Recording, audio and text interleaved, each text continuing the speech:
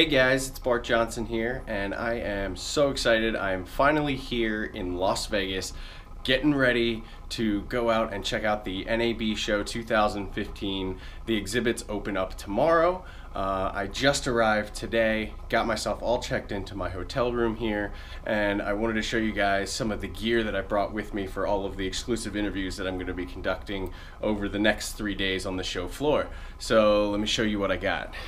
If we come through here, you can see here, here we are, lovely view of Las Vegas Strip out there. But anyway, what I'm going to be doing over the next several days, like I said, is I'm going to be conducting interviews with some of the top vendors uh, at the show. Um, I've got a ton of them lined up and I'll be bringing them all to you via this YouTube channel. But to do that, I had to bring a lot of gear with me. But I traveled only by myself and only with what I could fit on the airplane. So I had to kind of pick and choose what I packed. So I want to show you guys what I brought with me. So I have everything laid out here on my bed so you can kind of see what I'm working with here. There go. So I didn't have a whole lot of space, but I managed to cram as much as I could into the bags that I had on me. Uh, so when I'm shooting my interviews, my primary camera here is going to be my Canon XF300. It's an ENG style camera. I absolutely love this camera. It's going to be great for this kind of work. I left my 5D at home because I didn't want to deal with all the lenses. And uh, when you're operating by yourself, sometimes that super shallow depth of field is not the best because I want to make sure my interviews are in focus. Uh, so I have that camera there. Um, and then I'm going to be using a Manfrotto 502 head and I have a set of Manfrotto carbon fiber legs uh, keep everything lightweight so that I won't get bogged down carrying this around. Um, then for audio, I brought myself a couple of choices. I have my Sony wireless lavalier mics here, and I love using these, but they do take a little time to get everybody clipped up. So I'm going to use these when I can, when I have time to get everybody mic'd up. But if I don't have time and I have to go really quick, I also have the Sony wireless handheld mic. So this will pair with one of the receivers as well, and I can feed that into the camera. If I need to go quick, I can just do um, a handheld kind of interview there. And in here, the actual lav mics, I keep them in dollar store Q-tip containers. So that's a quick tip if you need a cheap way to store your microphones. Um, the second camera is the one that I'm using right now. It's actually my GoPro Hero 4 uh, Black Edition and right now I am recording on it on my Lanparte gimbal and I'm monitoring what I'm recording via my iPhone. So I'll probably use this to get some some smooth B-roll footage uh, around the convention center. It's real quick, it's real light, and the gimbal keeps everything pretty stable.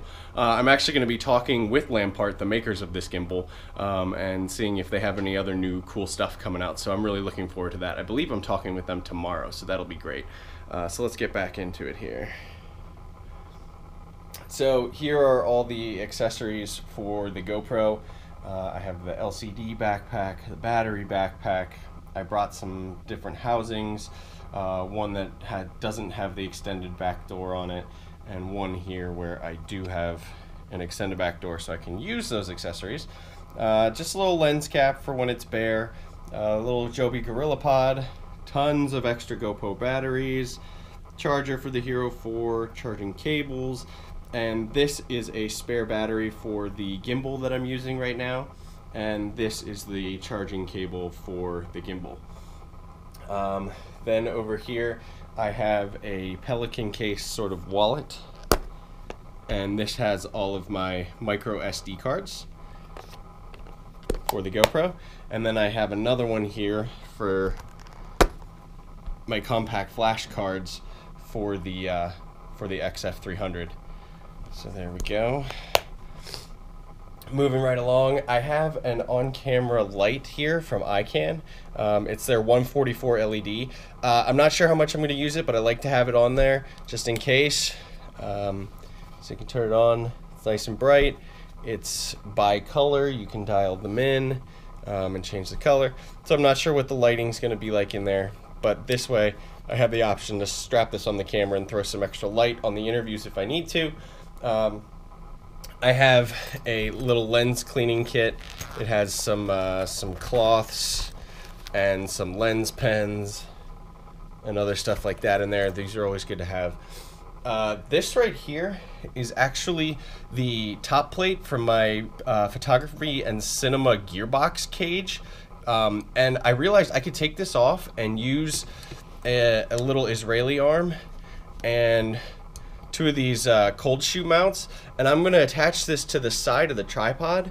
And I'm actually going to be able to use this to mount both of my wireless receivers on there because I don't have enough points on the camera. This is going to be used for the light and I really don't want to put a whole lot of strain on this quarter 20 attachment right here. So attaching this directly, if you look here, directly to one of these little side bolts on the tripod, uh, I think it'll work out for me. And I came up with that just real quick as I was packing. I realized I could do that. Um, then, of course, I have plenty of batteries uh, for the XF300, the XF300 charger, and then I have my Sennheiser headphones here. Uh, I absolutely love these. Let's see, what kind are they? They are the HD 280 Pros. So I have those, and I'm going to be using those to monitor my sound when I get everything set up. Um, so I managed to get all of that here in two bags. Uh, so my first bag that I have here is my Lowepro backpack. Uh, I usually use this for my 5D um, and all the lenses, but I was able to cram a ton of stuff into here. And I might be bringing this with me and wearing it on the floor. Um, and I also brought uh, my petrol camera bag for the XF300. Uh, it's got plenty of space in there and I'll probably be carrying this on the floor as well just to bring the, uh, the XF300 and all the stuff it needs um, in there. Uh, so, so that covers the acquisition uh, in terms of cameras and batteries and all that kind of stuff. Uh, but then I, of course, am also going to be editing on site because I want to get these videos out to you guys as quick as possible. So let me real quick just show you guys what I've got going on. So over here I have my little makeshift uh, edit suite here. Uh, I have a 15 inch MacBook Pro that I'm going to be doing all my editing on. Um, I have a Transcend card reader over here that'll take compact flash and micro SD. Um, I have two hard drives. These are both one terabyte drives. Uh, I have Field Drive B and Field Drive A and these are literally just mirrors of one another so I'll dump to one and then back up to the other to make sure I have duplicates of everything.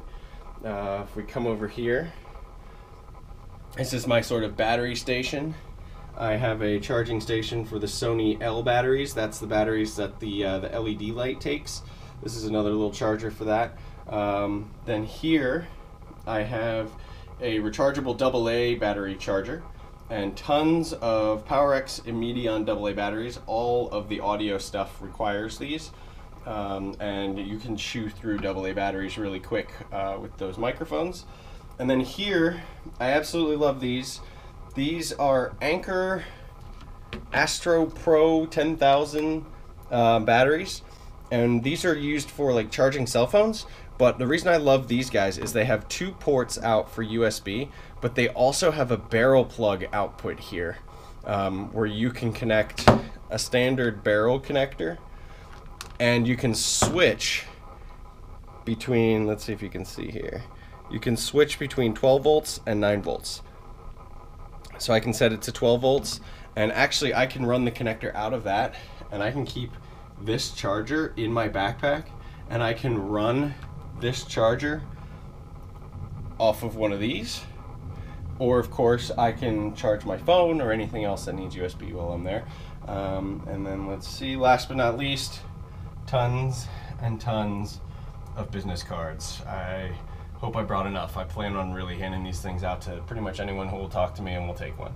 Um, so there we go. That's my edit setup and this is pretty much my camera and interview setup and And that's about it. So I'm to get everything all set up and ready to go. And uh, we're to start shooting some interviews and checking out some great gear tomorrow morning at NAB 2015. So stay tuned for those videos. Thanks, guys.